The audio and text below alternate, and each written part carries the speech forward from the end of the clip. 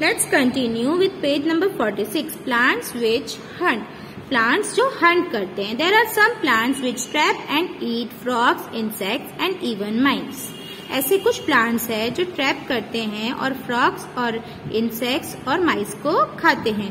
The pitcher plant Nepenthes is one such plant और pitcher plant जो जिसको Nepenthes भी कहा जाता है, वो एक ऐसा प्लांट है जो फ्रॉक्स इंसेक्ट्स और माइस को खाता है। It is found in Australia Indonesia and Meghalaya in India और इंडिया में वो ऑस्ट्रेलिया इंडोनेशिया एंड मेघालय में फाउंड है। मतलब वहाँ मिलता है। It has pitcher like shape और उसका शेप पिक्चर जैसा है। पिक्चर मीन्स वो जो पॉट होता है, उसके जैसा है। And the mouth is covered by a leaf और उसका जो माउथ है, वो लीफ से कवर्ड है।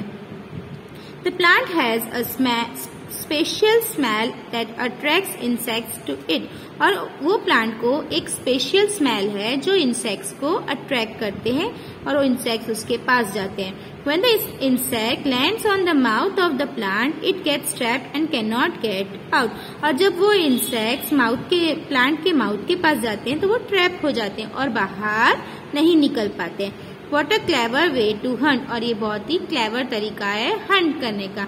मीन्स जो स्मेल से अट्रैक्ट हो जाए, वो। Now see next so many seeds बहुत सारे seeds how many types of seeds can you collect तुम कितने टाइप्स के सीड्स कलेक्ट कर सकते हो? Where will you find them कहाँ से सर फाइंड कर सकते हो?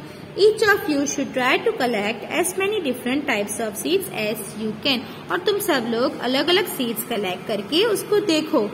और ट्राई करो बहुत सारे सीड्स कलेक्ट करने के लिए। After that put all the seed collection together फिर क्या करो कि वो सारे सीड्स को एक साथ रखो अपने पास। Now observe this seeds carefully और उन सब सीड्स को ऑब्ज़र्व करो। उनके शेप्स को साइज़ को कलर को और जो टेक्सचर है वो कैसा है।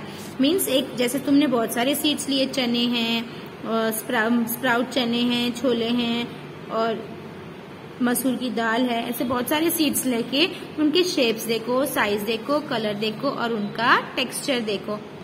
अब टेक्सचर में तुमको देखना है कि वो स्मूथ है या रफ है। Make a sheet chart to put up in the class और वो सीट चार्ट आप अपने पास रखो। You can start with a table like this और आप टेबल भी बना सकते हो उसके लिए। जैसे राजमा है, उसका कलर कौन सा है? रेडिश ब्राउन है, उसका शेप कैसा है? आपको शेप ड्रॉ करना है टेक्सचर कैसा है? तो स्मूथ है। जैसे मूंग है तो उसका कलर ग्रीन है, फिर उसका शेप ड्रॉ करो और वो भी स्मूथ है। इस तरह से आप अपने पास बना के उसका